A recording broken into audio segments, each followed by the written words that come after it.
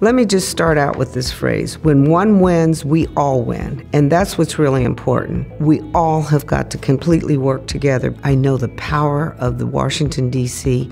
metropolitan area. There's no other city in the country that's like Washington, D.C., Northern Virginia, and the Maryland area. I think it's really important that the community at large is really informed. We want this to be a true partnership, not only with leaders in the community, but also with the community at large. The Greater Washington Partnership is really studying ways in which we can reach across all state lines, in which we can really help people.